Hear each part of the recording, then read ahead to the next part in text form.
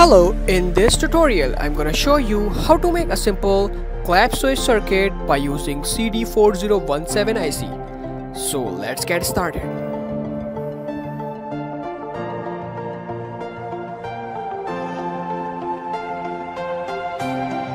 This video tutorial is sponsored by PCBWay.com.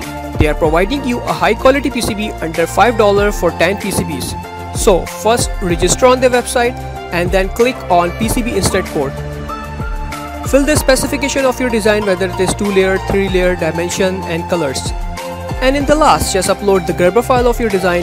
Their engineer team will assist you if they have found any error or mistake in your design.